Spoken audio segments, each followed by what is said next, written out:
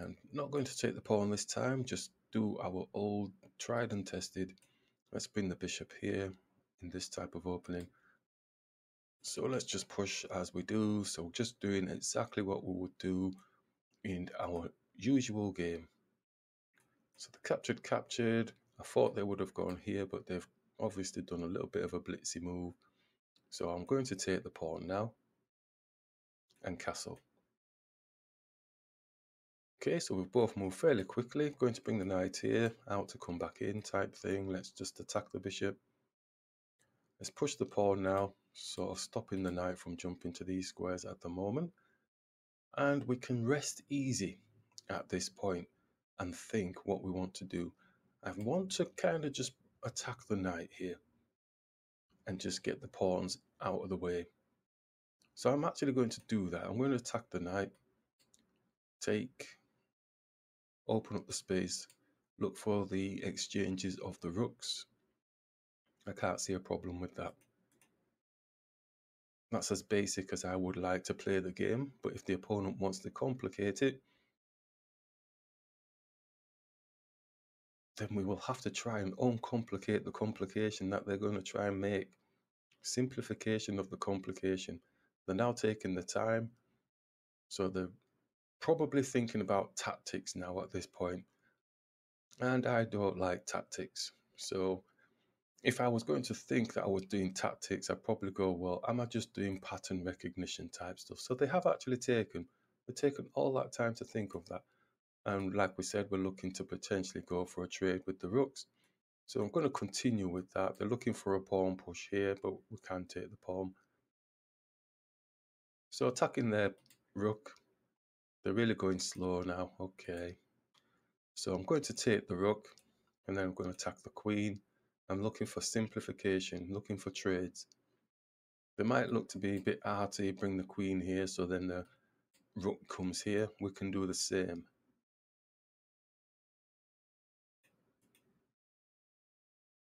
but there's no airs and graces. I don't want the air. Oh, so what they've done is, in essence, we can't go there anymore. So we can take, but then their rook is going to be owning the file, isn't it? So can we prevent that first? Is there anything that we can do to prevent that? I've always been eyeing this bishop up coming here, but it's not doing anything too major at the minute. If it goes there, then we do have the potential to push onto their bishop. But if the rook comes and attacks it, why have I brought the bishop here in the first place? Do I come back and attack their knight? Or do I bring my bishop here to still mount an attack on their bishop? Looks like an interesting situation. I think I might still go with it. It looks interesting to me because it's getting my piece working. At the minute, it's it's stuck on the king's side. You know, it's giving my king some company. No problems with that. I think we want to do this. Yeah, I'm going to do this maneuver. And depending on what the opponent does, will depend on what we do next. We are planning this, but we think the rook is just going to attack. So we can bring the bishop back here, still with the intention of pushing onto their bishop. So it's trying to make my dormant pieces a little bit active.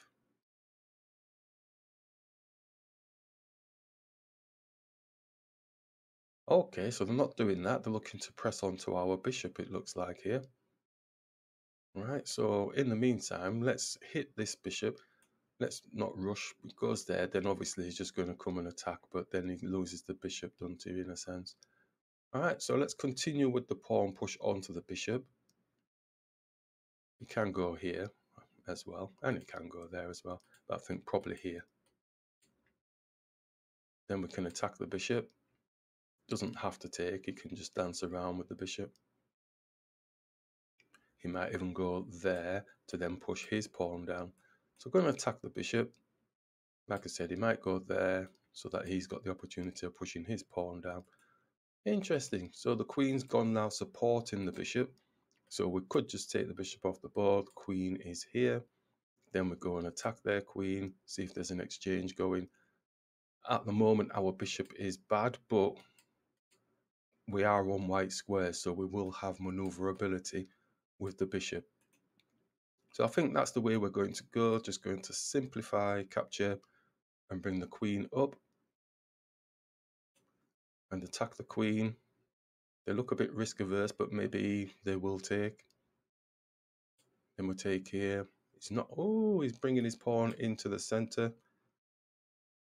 Is that to their benefit at all? Could bring the rook here, looking to attack the queen and then attacking the pawn. He brings his rook behind. We take, pawn, rook takes, whichever. So somehow, somewhere, let's just bring the rook here. He does bring the rook there. Let's take. Does the rook take or does the pawn take? Rook takes. Let's take the uh, rook off the board. Now we have two linked pawns here. And we might have a bit of an issue, but let's just continue with this pawn push here looking to bring the bishop, ooh, bring the bishop around, attacking this pawn that has no protection. So I'm assuming it's going to drop. So then we can take. Not sure if there's enough support for getting them up for a promotion, but we can we can see. Okay, so the knight's coming down, and he's, has he got a fork on our king? We're going to take the pawn anyway. So he's attacking this pawn. We could attack this pawn, his knight can take, pawn takes, but then it's a bit close towards his king. So if we push up, yeah, push up, knight comes around attacking this pawn.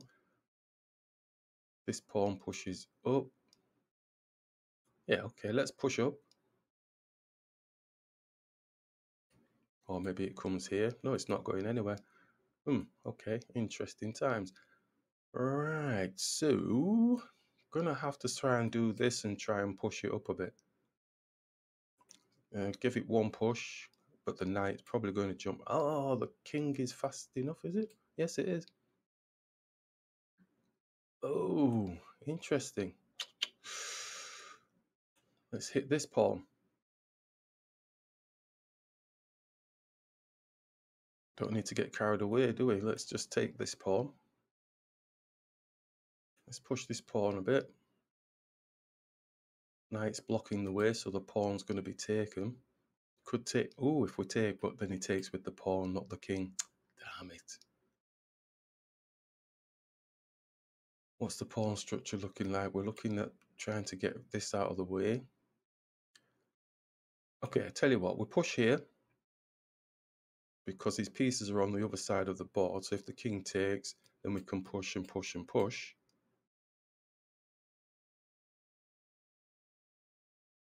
Okay, so we can push this pawn now. It looks like it's going to get glory. Um, I don't think the knight's fast enough to come over there and get it, is it? One, two, maybe it is. One, two. Oh, and it looks like they've left the game. So it looks like the pawn would have been fast enough after all. So that to me, that was really I like that game because um, we did focus on, we'll claim victory on that. We did focus on simplifying the complications if there were any. And so throughout the whole of the game, it was the attempt at going for that simplification of any complications whatsoever. I think having a plan or a strategy of some sort, an idea as to how you want to go into your game, um, does help you. And also being able to change it at any given moment. So if the simplification didn't work, we would have to work with the complication if there was any complications in there.